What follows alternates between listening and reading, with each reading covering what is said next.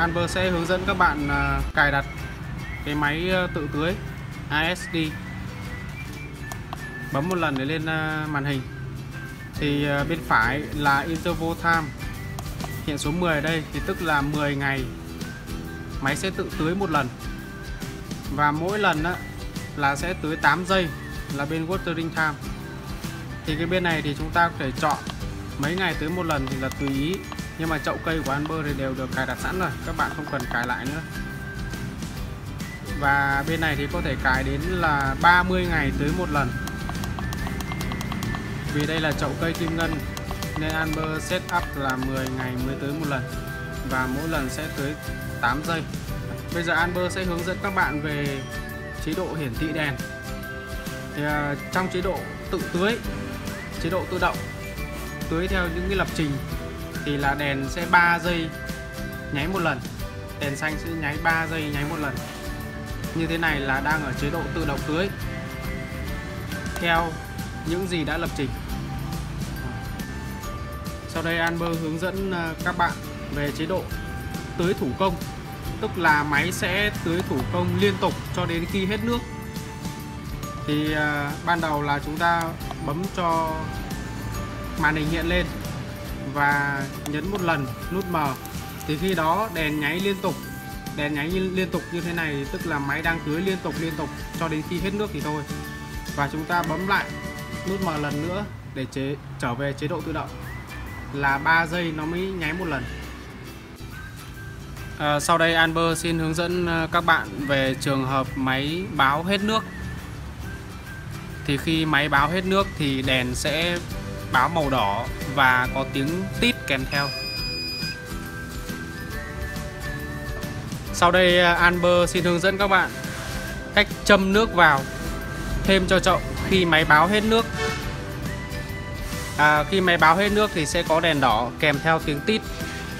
Thì khi đó thì à, chúng ta sẽ à, bơm nước từ ngoài vào cho bình chứa bên trong.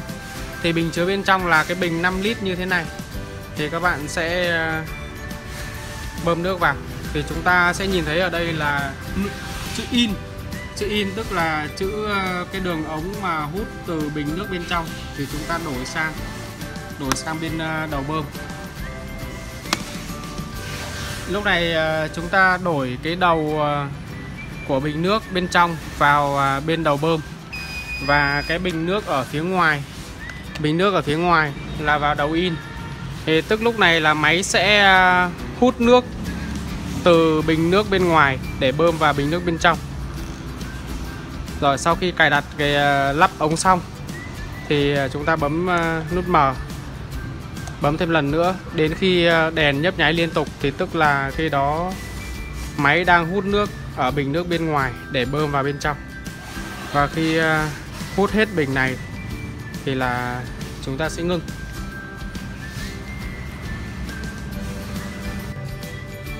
À, khi à, chúng ta đang bơm nước vào ờ, bình chứa nước bên trong thì à, đến à, khi à, máy đã bơm đủ hết nước vào bình chứa nước bên trong thì bình nước bên ngoài sẽ hết nước và khi đó máy sẽ báo à, đèn đỏ.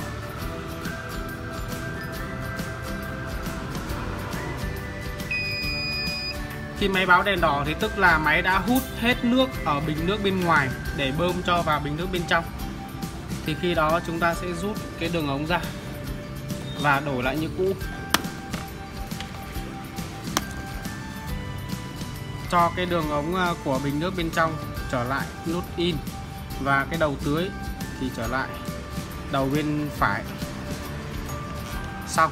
Ờ, sau khi châm nước đầy đủ vào bình nước bên trong thì máy vẫn chưa trở về chế độ tự động.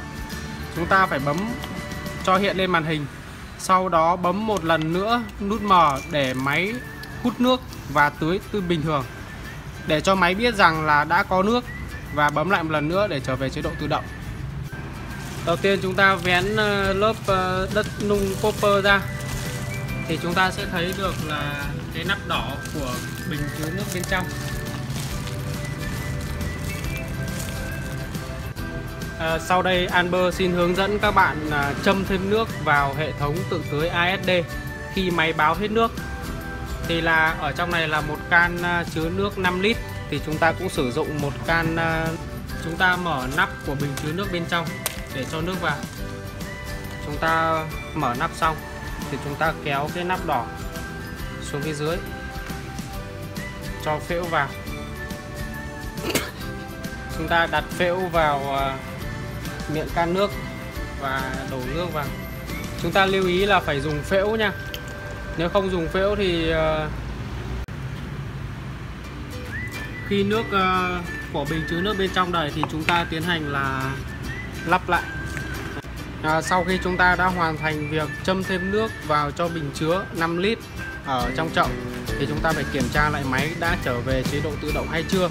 Thì chúng ta bấm hiện lên màn hình và bấm một lần nút M và khi đèn nháy liên tục này, tức là đã có nước dưới bình thường và bấm lại một lần nữa để cho máy trở về chế độ tự động là chế độ 3 giây đèn xanh mới nháy một lần là xong.